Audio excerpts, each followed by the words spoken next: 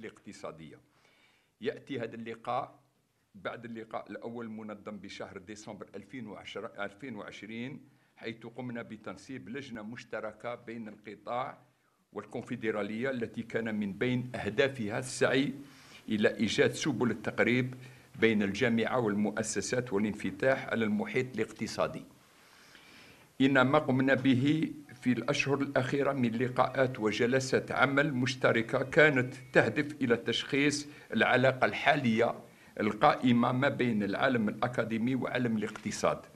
ووضع أسس العلاقة المستقبلية وميكانيزمات ربط الجسور وتوطيدها والمجالات التي يجب أن تشملها وفق منظور ورؤية عصرية تتوافق واقتصاد المعرفة والمهن في زمن الرقمنة.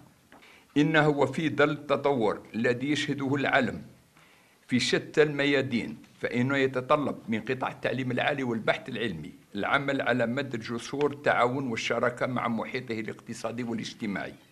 ولتجسيد هذا المسعى يعمل القطاع حاليا على مراجعة العدة التشريعية والتنظيمية التي تحكم سيره وفي مقدمته مقدمتها القانون التوجيهي للتعليم العالي والقانون الأساسي النموذجي للجامعة حيث تهدف هذه المراجعة من بين ما تهدف إليه إلى إعطاء كل الأجهزة ذات العلاقة بالمحيط الاقتصادي والاجتماعي الأرضية القانونية الملائمة التي تسمح لمؤسسات التعليم العالي في إطار